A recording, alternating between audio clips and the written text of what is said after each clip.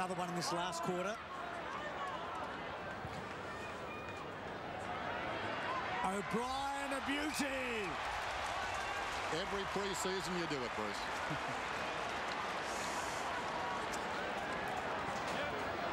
So Harry now launches the ball after launching himself